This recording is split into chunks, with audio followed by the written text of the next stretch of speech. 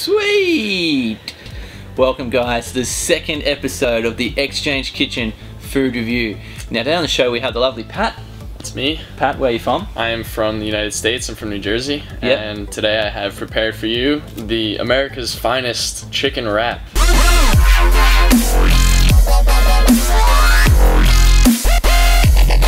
So you got your chicken, you have some basic rice, may have a little bit of spices in it. Um, Uncle Ben's right there. Uncle Ben, and thank you, then, Uncle Ben. uh, and then you got some lettuce and some good old barbecue sauce. So should be pretty, uh, pretty good. Should be pretty heckers. That's a bit of dedication guys. We love Pat. This is the best meal we've had so far. Good. You ready? Let's eat it. Let's do it. Let's do it.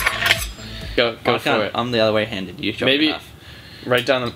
This like way, this. yeah, that way. There we go. I'm just shit at doing it. my other hand. Got it. That's That's Oh.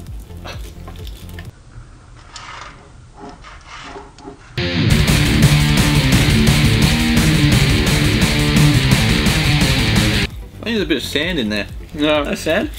I like sand in my stuff.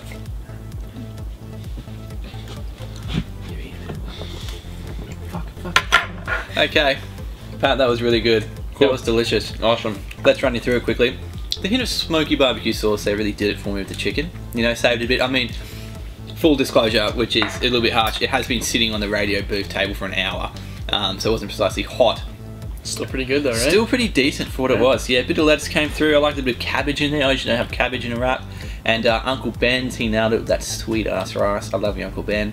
Look, guys, it's a wrap. If you want to bring your own bit of food on the show, come hit us up on Facebook. It's Exchange Kitchen.